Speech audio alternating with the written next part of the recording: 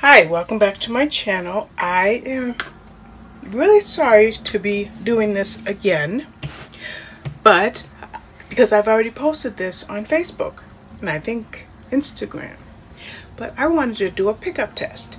Now, I've done a pickup test with a Ravensburger puzzle and I've done a pickup test with a White Mountain puzzle and I'm fairly certain I can do a pickup test with this Buffalo Games or Buffalo puzzle. So I have two cameras. You're primarily going to see this on my iPad and the uh, iPhone is just there so you can see if I set it down correctly. I don't have any doubt that this is going to work. Let me smooth it out a little bit. Something came apart.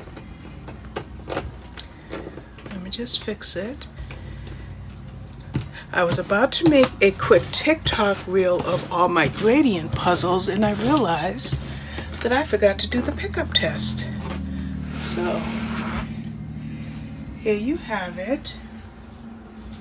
1000 piece challenge gradient puzzle. Super easy to pick up and even easier to lay down. And there you have it. Thank you for watching. Bye-bye. Since I got a couple more gradient puzzles in the mail today, which I believe are at the end of these clips, I thought I would share all my gradient puzzles one more time so that you can see everything in my collection so far.